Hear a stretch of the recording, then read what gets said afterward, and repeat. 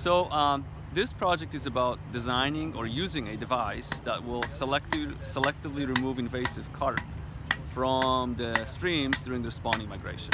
So today this is I think the fifth day of this experiment. So the carp have been running for a few days and we know that they're running because we have a lot of electronic antennas in the stream that detect the, the presence of the carp. And um, we are building a uh, channel or a fence that directs or leads the fish into a floating fish ladder. And we want to make the carp swim up the ladder. So into the Whooshh system to remove them. So we know that every day there's hundreds of fish that are trying to cross this particular stream section or electric guidance system in the water.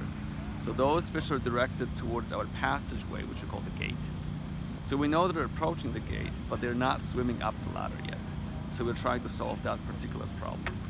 Um, in the Long Lake and the Lino Chain of Lake systems, while we're testing out these, these new tools, we really needed something that was more reliable and then economical on an annual basis. If this works, then these technologies could be used in other places in Minnesota to manage carp. Um, right now there's there's not a lot of other tools for uh, managing carp, especially for getting the adult carp out of the system. If these work, then it could be a really economical way for, for other folks attempting to improve water quality by managing carp to, to do that.